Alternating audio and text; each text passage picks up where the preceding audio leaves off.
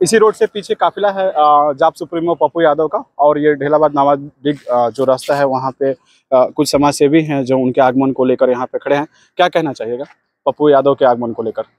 पप्पू यादव ऐसे जुझारू नेता हैं जो कहीं भी जो है जन समस्या होता है वहाँ पर निश्चित रूप से हाजिर होते हैं और यहाँ एक बहुत बड़ी घटना घटी थी कल्याणपुर में जिसमें जो है दो लोग जो है अपना जो है मृत्यु हो गई थी दो लोगों के। तो वो वैसे मृत परिवार को संतावना देने के लिए आज जो है वो पप्पू यादव यहाँ आ रहे हैं और हम समझते हैं कि ऐसे नेता बहुत कम हैं जो इस तरह की घटना में जो है इतना जल्दी जो है पहुँचते हैं। थैंक यू थैंक यू मेरे साथ जुड़ने के लिए आप लोग कुछ कहेंगे?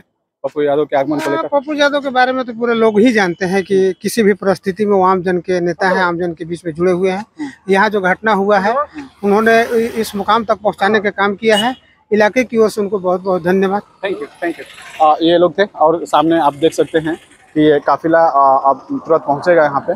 पकड़ो इसको और एक बार एक ये तस्वीर दिखा दीजिए। ये ढेलाबाद का छोर है, जहाँ पे तमाम उनके जो समर्थक हैं खड़े हैं और आगमन होगा।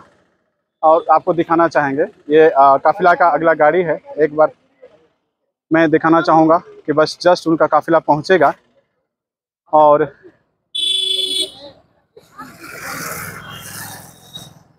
ये देखिए, काफिलाओं का गाड़ी जो है आगमन शुरू हो गया है।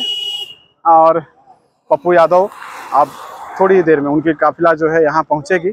और जैसा कि मैंने बताया कि आज पच्चीस सितंबर 2023 को जिस तरह से डालमिया सीमेंट फैक्ट्री में दो मजदूरों की मौत हुई, इसके बाद एक मजदूर अभी भी हालाँकि हॉस्पिटल में है।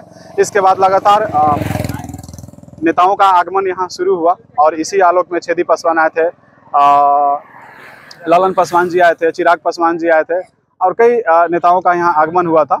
और आज, देखिए, सामने देख लीजिए जो हुटर है, सायरन है, वो पप्पू यादव की काफिला की है।